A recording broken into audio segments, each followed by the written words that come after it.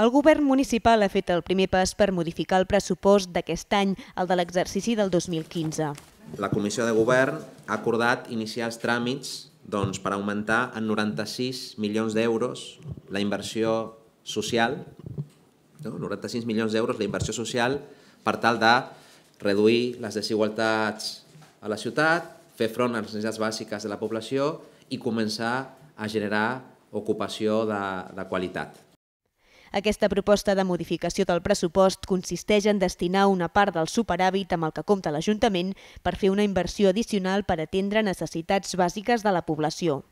La proposta és que d'aquests més de 120 milions d'euros que tindríem de superàvit, que 96 milions, en comptes de quedar-se de quedar-se tancats no? a la caixa de l'Ajuntament, doncs ens destinin a satisfer determinades necessitats bàsiques de la, de la ciutadania.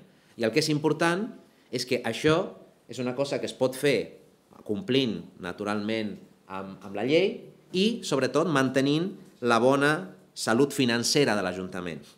Aquesta modificació haurà de comptar amb el vistiplau de la Comissió d'Hisenda i Economia i del Consell Plenari.